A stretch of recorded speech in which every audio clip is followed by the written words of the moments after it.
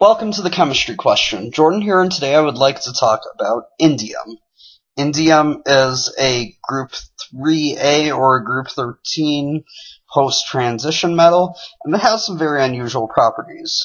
To start, it has two naturally occurring isotopes, indium-113 and indium-115.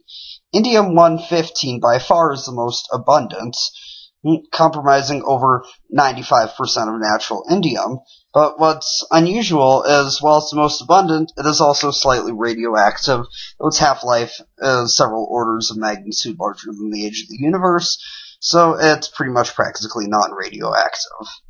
Now, indium is a very soft metal, and it can be cut with a knife.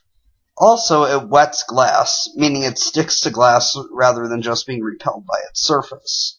You can also alloy it with gallium and tin and make a liquid metal that's a substitute for mercury in thermometers.